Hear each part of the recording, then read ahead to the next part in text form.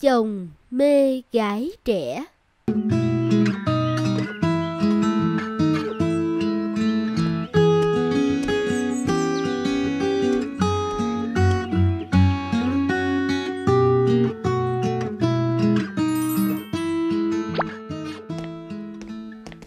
Ôi,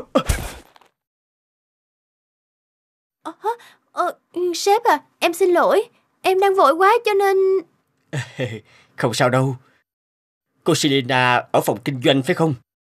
Ờ, dạ vâng ạ, em là Selena. Em mới vào công ty mình làm được hơn 10 ngày rồi. Em xin lỗi sếp nha. Không sao đâu. Cô vội thì đi đi. Cậu chờ tới lâu chưa? Ừ, tớ cũng đến một lúc rồi, bọn mình đi ăn thôi nào.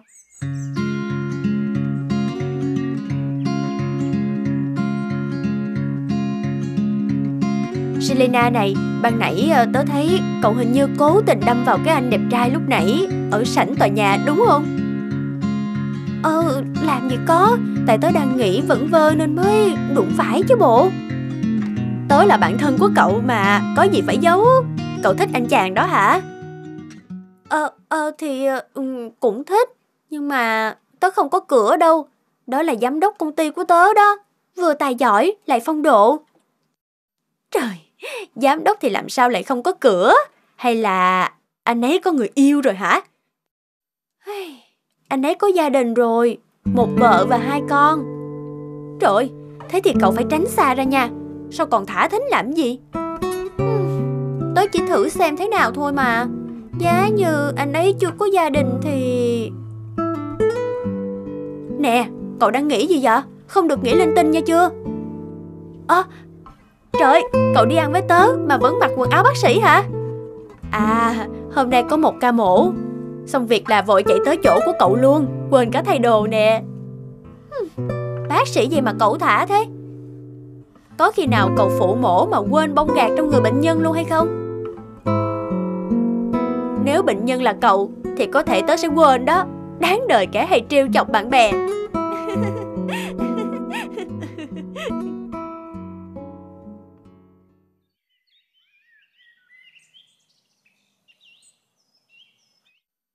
À chị Selena Sếp nhắn là sáng nay chị chuẩn bị tài liệu Để lát nữa đi gặp đối tác cùng sếp đó ạ à? À vậy hả Chị sẽ chuẩn bị ngay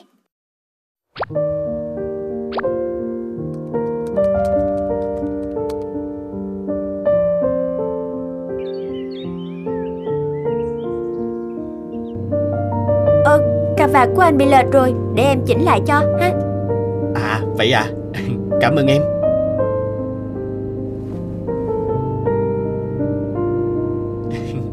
Gặp đối tác xong, chúng ta đi ăn trưa cùng nhau nha. Dạ vâng Mấy khi được đi ăn cùng với sếp ạ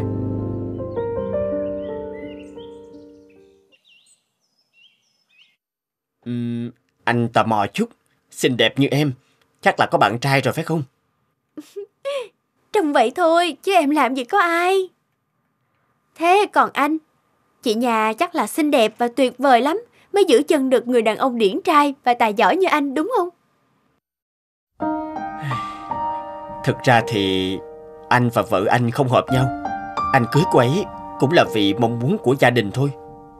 Chứ anh không có tình cảm. Hả? Thật vậy à? Giả như... À mà thôi Chúng ta không nên nhắc tới chuyện đó Nếu Selena không thấy phiền Thỉnh thoảng anh có thể mời em đi ăn được không Thế thì còn gì bằng ạ Ba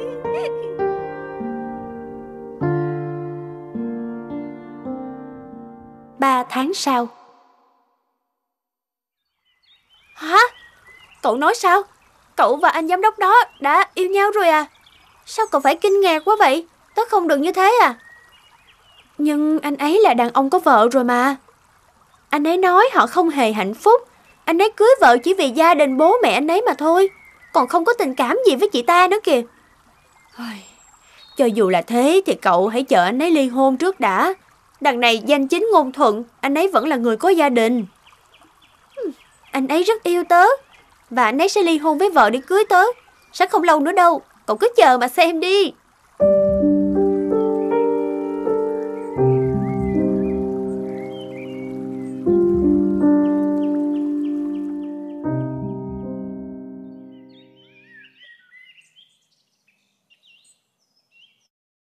Lần sau em đừng gọi điện cho anh vào buổi tối nha. Anh không tiện nghe điện đâu. Vì sao vậy hả? Anh nói đang chuẩn bị làm thủ tục ly hôn rồi mà. Vậy thì còn sợ gì mà không dám công khai chuyện của chúng ta?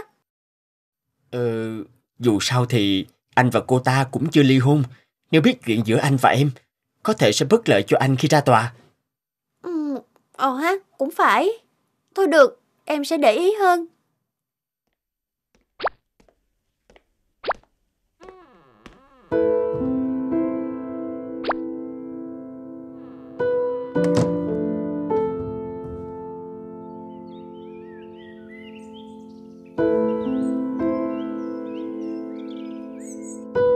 Vợ của Jimmy đã biết tất cả và muốn gặp cậu ngay à?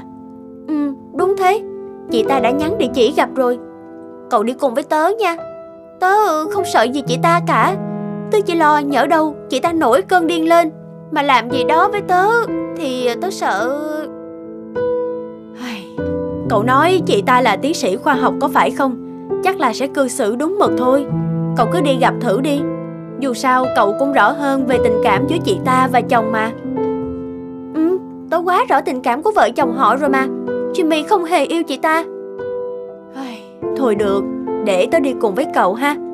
Nhưng tớ sẽ ngồi ở bàn bên, coi như không quen biết gì nha.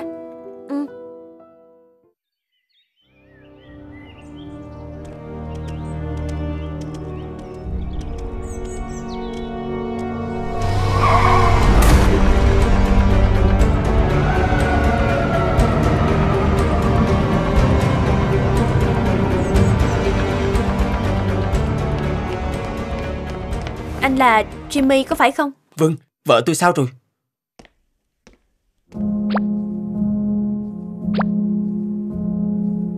Anh Jimmy à, anh không được vào trong. Chúng tôi vừa sơ cứu, nhưng anh là người thân của ai trong hai người phụ nữ này? Chị Selena hay là chị Meg? Ờ, tôi, ờ, tôi, ờ, thật ra thì cả hai người đều là người thân của tôi. Hai bệnh nhân này đều cần mổ cấp cứu mới có thể cứu sống được. Hiện tại, bác sĩ của chúng tôi chỉ còn lại một người. Anh biết rằng toàn bộ bác sĩ của bệnh viện đang phải tập trung cho những bệnh nhân bị bệnh dịch. Vì vậy, anh buộc phải chọn cứu một trong hai người. Trời ơi, nếu vậy, hãy chuyển ngay một bệnh nhân sang bệnh viện khác cấp cứu. Tôi sẽ chịu tất cả chi phí. Không kịp nữa đâu. Tính mạng của họ đang tính bằng giây đó. Anh hãy mang quyết định và ký vào tờ giấy này đi. Anh quyết định nhanh lên, nếu không sẽ không thể cứu được cả hai người đâu. Thời gian rất gấp rồi. Làm ơn hãy cứu vợ tôi, cô Med Nancy.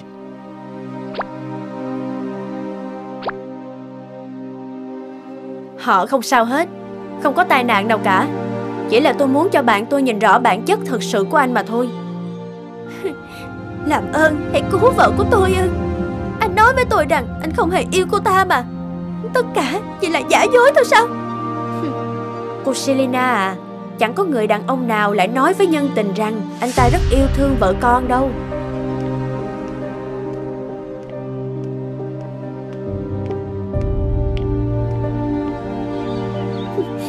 Em và các con sẽ tạm thời chuyển về nhà bố mẹ em sống một thời gian. Ừ, anh xin lỗi. Đó chỉ là một cuộc dạo chơi thôi. Em biết là anh sẽ không bao giờ bỏ mẹ con em mà. Em thực sự rất sốc và tổn thương Em không thể nào tiếp tục sống trong căn nhà của chúng ta được nữa. Anh sẽ chờ tới ngày em có thể tha thứ Và cho anh quay trở về. Trời ơi Tôi thật là ngu ngốc.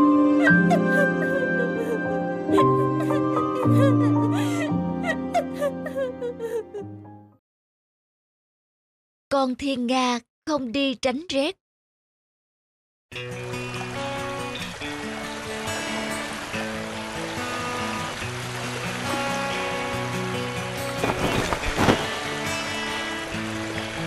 Bà ơi. Ra đây xem nè. Có chuyện gì vậy ông? Bà nhìn kìa, Con thiên nga xinh đẹp này tay đến chỗ chúng ta, Chắc hẳn là một điều tốt. Để tôi đi lấy ít cá cho thiên nga ăn. Phải đó, Bà nhanh vào lấy ra đi. Nào, Lại đây ăn đi nào, Thiên nga xinh đẹp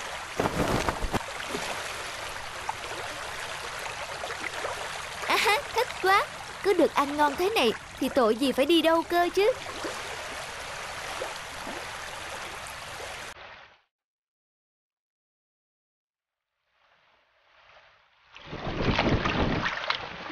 Ôi, buổi sáng thật tuyệt vời Ồ, con Thiên Nga vẫn còn ở lại đây. Thật là tốt quá.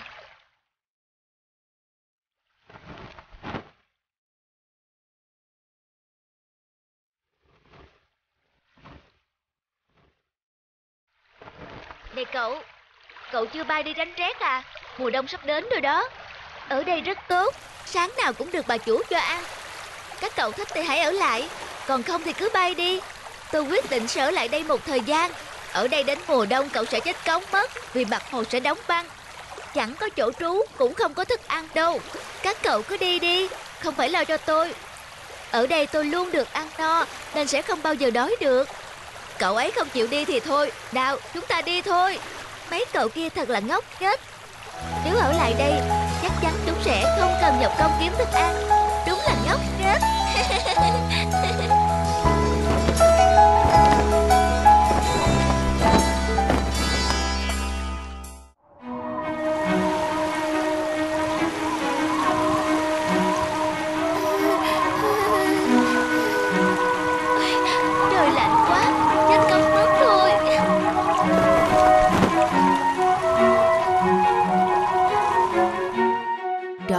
Thiên Nga, sao mày không đi tránh rét cùng bầy mà vẫn ở đây ư? Ông ơi, xem nè, hãy cho nó ở trong này, nếu không nó sẽ chết cống mất.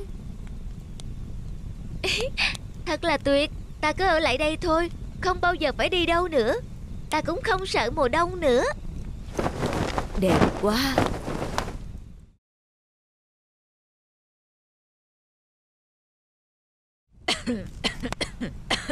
Bà ơi, chúng ta về lại đất liền đi. Tôi thấy trong người không được khỏe nữa. Không thể đánh cá được nữa rồi. Phải rồi, ông đã đến lúc cần được nghỉ ngơi rồi. Để tôi sắp xếp đồ đạc rồi rời khỏi đảo ngay nhé. Tôi để lại thúng cá này cho con Thiên Nga Hy vọng là nó sống sót qua mùa đông năm nay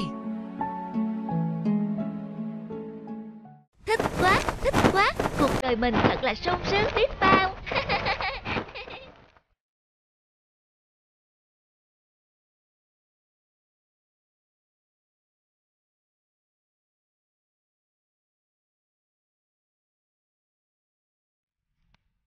Hết thức ăn rồi Không biết bao giờ họ mới trở lại. Ôi, Đói quá Làm thế nào bây giờ? Thôi đành đi kiếm thức ăn vậy.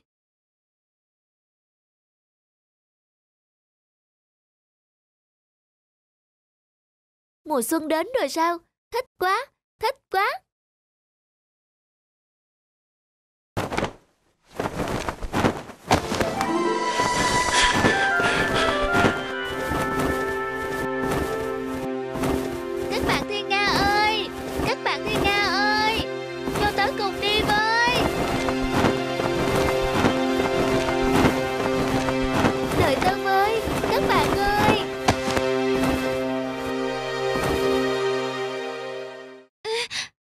Mình lại trở nên nặng nề thế này cơ chứ? Tất cả là lỗi tại mình. Suốt ba năm qua, mình đã quá lười biếng, chỉ biết sống dựa dặm mà không tự mình kiếm thức ăn. Để rồi bây giờ muốn tự bay đi kiếm mồi cũng không thể nữa. Trời ơi! Cuộc chia tay nơi con suối đầu nguồn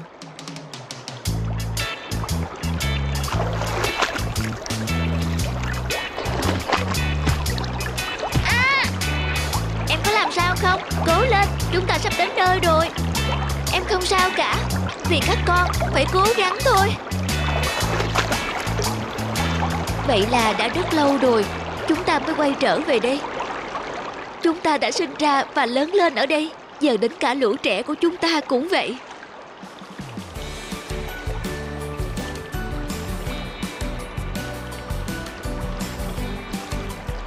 Các con phải lớn lên thật khỏe mạnh nhé. Mẹ chỉ ao ước được ôm các con một lần Nhưng không kịp nữa rồi Đó là quy luật của loài cá hồi chúng ta đã bao năm nay. Chúng ta phải nhường lại sự sống của mình cho thế hệ sau. Em tin khi nào trưởng thành, lũ trẻ sẽ cảm nhận được tình yêu thương của chúng ta. Đã đến lúc rồi phải không anh?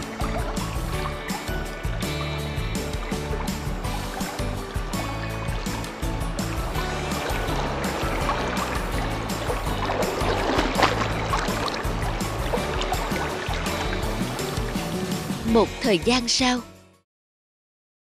Được ngày đẹp trời, nước suối trong vắt thế này, dễ nhìn thấy trong rêu lắm đây.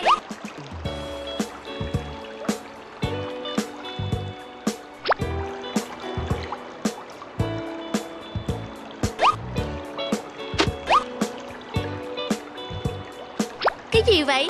Nó đang động đậy kìa.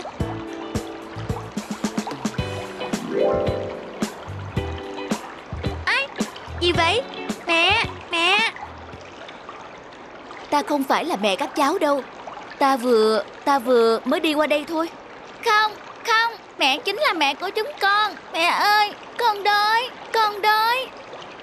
Đã bảo là không phải mẹ của các cháu rồi bà Ta đang có việc bận phải đi gấp Các cháu đi tìm ba mẹ Hoặc đi tìm thức ăn đi nhé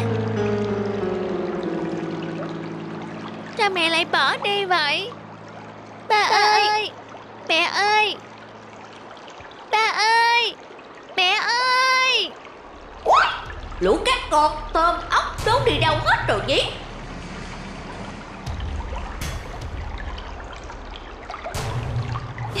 Phiền phức quá đi. Phải đưa chúng ra khỏi đây ngay. Cá hồi con Lũ cá con này béo lắm đi.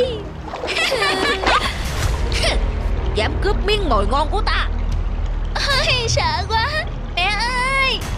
Một con cá ăn thịt. Trời ơi Tự dưng lại vướng vào chuyện phiền phức thế này Làm thế nào bây giờ À, có lưới. À, à. Mẹ bị nhốt ở trong đó rồi. Phải làm thế nào bây giờ? À, ha. Hoàng hậu. Hoàng hậu. Mẹ thật là một anh hùng. Tất nhiên rồi Ta là cá da trơn Thôi các cháu tự tìm ba mẹ đi nhé Bác phải đi đây Mẹ ơi. Mẹ ơi.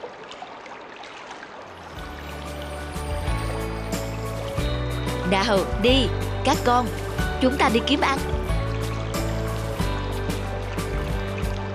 Hurra! Để nhìn con nè. Các con nữa.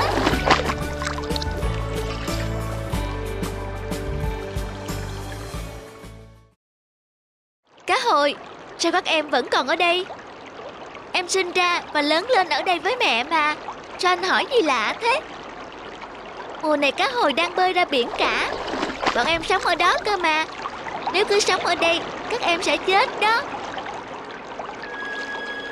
Chị nói dối, chúng em vẫn sống tốt với mẹ ở đây. Đó là cá da trơn, không phải mẹ của các em. Ba mẹ các em sau khi sinh ra đã mất rồi. Không phải, đây mới chính là mẹ của chúng em. Mẹ đã chăm sóc chúng em từ nhỏ, cho chúng em ăn, đưa chúng em ngủ nữa. Đúng rồi. Đây không phải là môi trường sống của chúng. Bảo sao càng lớn chúng càng xanh sao Đã đến lúc rồi các con à. Các con nghe đây Các con là cá hồi Không phải là cá da trơn để sống ở đây. Các con phải ra biển Nơi đại dương bao la. Nơi sống đánh vào bãi cát ngầm mỗi ngày. Ở đó Các con sẽ trở thành những chú cá hồi đỏ hồng Mạnh khỏe. Thế con còn quay trở lại để gặp mẹ không? Không, khi các con quay trở lại đây một lần nữa là để sinh con Giống như ba mẹ con vậy. Lúc đó mẹ chắc không còn nữa rồi. Thế chúng con không đi đâu. Chúng con không thể bỏ mẹ lại một mình được. Nào, hãy là các chú cá hồi mạnh mẽ. Ta vẫn sẽ ở đây để dõi theo các con Thời gian qua, chúng ta đã có một khoảng thời gian thật đẹp, phải không? Cảm ơn mẹ Vì đã nuôi chúng con khôn lớn. Chúng con sẽ không bao giờ quên mẹ. Đi nào các con. Mẹ ơi Chúng con yêu mẹ lắm. Mẹ cũng vậy, đi nào.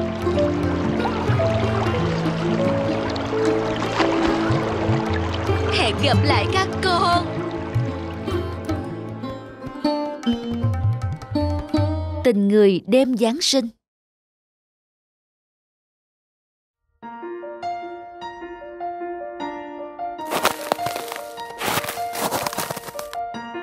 Giáng sinh sắp đến rồi. Đã có ai trang hoàng gì chưa? Năm nay bọn trẻ nhà tôi rất háo hức, Nên nhất định phải làm cây thông thật to mới được. À hay là dọn đường xong, Cả xóm mình phải trang trí thêm đèn nhái cho lung linh nhỉ? Có vẻ tuyệt đấy. Ờ hay đấy. Chào mọi người. Ồ cô Maria đón con về rồi đấy à? Dạ vâng. Cháu chào bác Jim. Cháu chào ông Rao. Cháu chào bác Helen. Ừ chào cháu Nancy.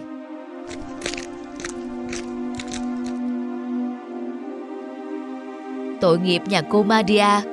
Từ khi chồng mất vì bệnh hiểm nghèo Một mình cô ấy phải đầu tắt mặt tối suốt ngày Vừa trả nợ Vừa phải lo cho hai đứa con thơ. Thật khổ.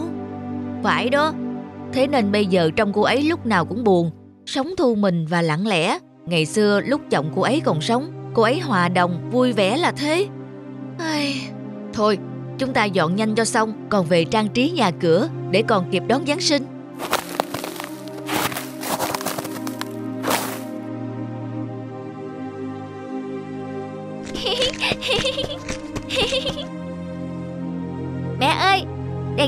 Chưa mẹ kìa Ôi, nhà bác Jim còn có cây thông to bên ngoài nữa.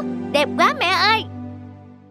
Mẹ ơi, khi nào thì nhà mình trang trí nhà hả mẹ? Ngày kia là Giáng sinh rồi.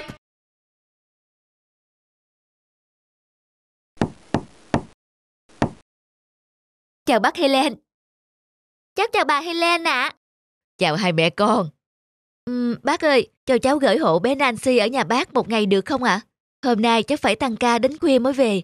Bác biết đấy, Giáng sinh nên hôm nay được nghỉ học. Thế bé Thơm đâu rồi? Dạ, cháu gửi nhà bác Jim trong hộ rồi ạ. À? Ồ, vậy hả? Nancy, vào đây với bác. Bác Helen, cảm ơn bác nhiều lắm. Nancy, còn phải ngoan đấy. Không được nghịch nha. Dạ. Con chào mẹ. Nancy, cháu vào chơi cùng chị Lily nha. Nancy, vào đây.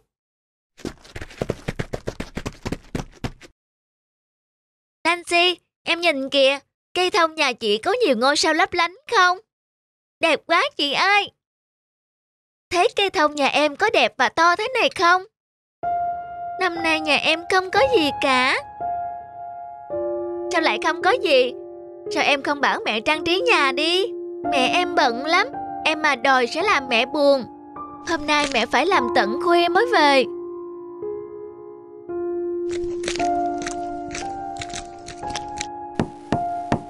Bác Helen ơi! Bác Helen, bác có nhà không ạ? À? Nancy ơi! Hay là bác Helen đưa Nancy về nhà rồi?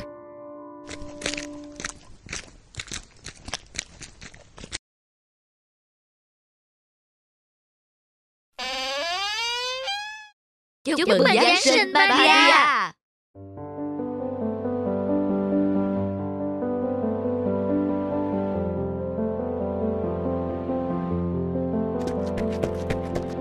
Mẹ ơi, mẹ xem kìa, nhà ta đã có một cây thông rực rỡ chưa? mẹ biết rồi, mẹ hạnh phúc lắm con à. Cảm ơn tất cả mọi người, mọi người đã đem đến cho gia đình chúng tôi một Giáng sinh bất ngờ và ấm áp biết bao. Sao lại không nhỉ? Chúng ta sinh ra đều xứng đáng có được một mùa Giáng sinh thật ấm áp và vui vẻ. Từ đây, hãy luôn nhớ có chúng tôi ở bên cạnh. Tất cả mọi người đều yêu mến cô, cô Maria ạ. Chúc mừng Giáng sinh an lành, ấm áp. Chúc, Chúc mừng Giáng sinh Maria.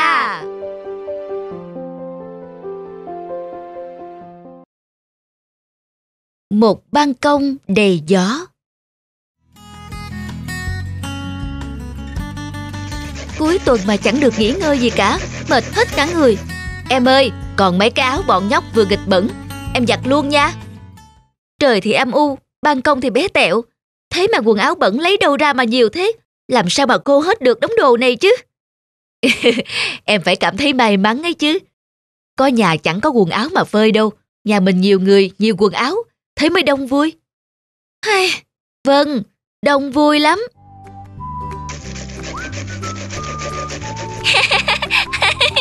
Ngựa phi, ngựa phi. nhanh lên ba, nhanh lên. Đồ chơi vứt tứ tung thế này à? Hai đứa có mau dọn đi không? Bin và Bon ngoan quá Đúng là con trai của ba Chị ơi Chị gọi tôi ạ à? Vâng Tôi thấy chị đang phơi đồ Vâng ừ, Chị mang đồ sang ban công nhà tôi mà phơi Rộng lắm. Thật à? Vâng Ban công nhà tôi rộng và nhiều gió lắm. Đồ sẽ nhanh khô hơn. Chị sang đi Tôi xuống mở cửa cho chị. Vâng Được thế thì còn gì bằng. Tôi sang ngay đây.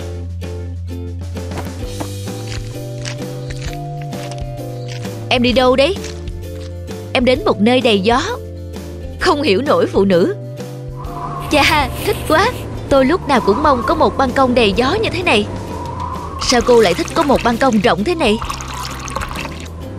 Một ban công rộng để phơi quần áo cho nhanh khô và thơm tho. Nhà tôi nhiều người, nên quần áo cũng nhiều. Mỗi lần giặt quần áo và phơi phóng chật chội, Tôi khó chịu lắm. Với cả, tôi muốn có một ban công đầy gió, Để thỉnh thoảng mình có thể đi trốn. Đi trốn? Nhiều khi tôi chỉ muốn có một khoảng trời cho riêng mình Tránh xa những lo toan thường nhật của cuộc sống. Một nơi để tôi có thể được ngồi thoải mái uống sinh tố Đọc sách và mơ mộng. Chị biết đấy Cứ quẩn quanh mãi với bếp nút Nhà cửa, quần áo và những công việc nội trợ không tên tôi thấy mình cứ già nua tẹp nhẹp đi mỗi ngày. Còn chị chị thật xinh đẹp chị có dáng vẻ thanh thản vô ưu vô lo cuộc sống của chị chắc hạnh phúc lắm tôi chẳng có gì ngoài một ban công đầy gió ý chỉ là tôi cũng từng ở trong một nhà tập thể bé tẹo còn bé hơn nhà của chị nhiều lại chẳng có ban công thế là tôi cũng mong mình có một ngôi nhà thật lớn một ban công thật rộng. Tôi cứ lao đầu vào kiếm tiền, làm việc điên cuồng cả những ngày nghỉ. Còn cái thì gửi về cho ông bà. Chồng tôi can ngăn, nhưng mà tôi không thèm nghe. Lúc đó tôi chỉ nghĩ mình nhất định phải có một ngôi nhà thật lớn thì mình mới hạnh phúc được.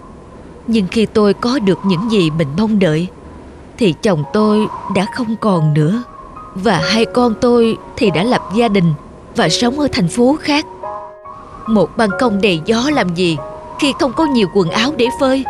Một ngôi nhà lớn làm gì khi không có ai cùng ăn, cùng xem tivi và cùng trò chuyện? Giờ tôi chỉ mong có ai đó bài bừa ra cho mình dọn một đống quần áo để giặt và được nổi cáo vì tiếng chí chóe của bọn trẻ con. Ngôi nhà bừa bộn, một đống quần áo, tiếng trẻ con chí chóe. Tôi đang phải chịu đựng tất cả những điều đó Vậy là cô có những người thân yêu để chăm sóc Điều đó chẳng phải rất vui sao Nhiều khi đúng là cũng vui thật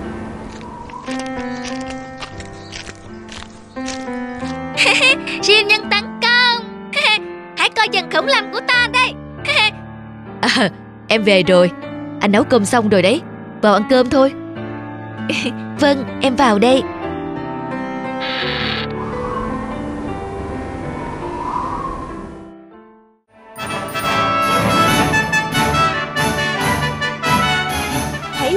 Comment, subscribe kênh để xem thêm những video mới nhất nhé.